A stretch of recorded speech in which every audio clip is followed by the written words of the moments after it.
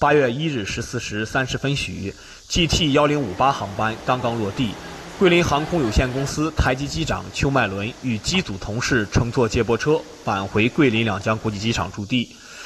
以前只在小学地理课本知道桂林山水甲天下，如今邱迈伦在桂林工作生活，频繁往返桂台两地。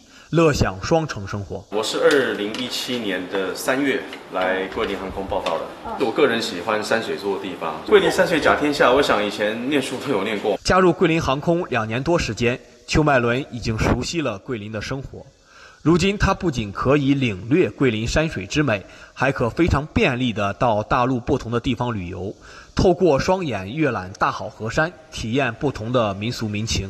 此外，从桂林到台湾桃园航班飞行时间不到两个小时，邱麦伦每个月都可以回到台湾。就是我是来这边，呃，工作之余的话呢，来桂林旅游。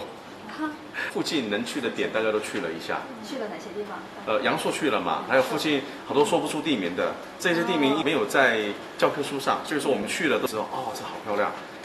在桂林航空有限公司，并非只有邱迈伦一名台籍机长。为落实惠籍台胞三十一条措施，结合广西实际推出的惠籍台胞政策，桂林航空在符合国家民航局的规定下，积极引进台籍飞行员。目前在职台籍飞行员已达八名。那么招聘台湾飞行员呢，对我们来说优势很大。台籍机长呢也，具有这个普通话啊、英语两方面的语言优势啊，非常有利于我们的机组资源管理和飞行安全。下一阶段呢，将会有计划的引进我们的这个台籍飞行员啊，扩充我们桂林航空的这个飞行员队伍。为了解决台籍机长的后顾之忧，桂林航空有针对性地制定了相关的政策和制度。为台湾同胞在桂林航空就业、学习、生活提供了与广西居民同等待遇。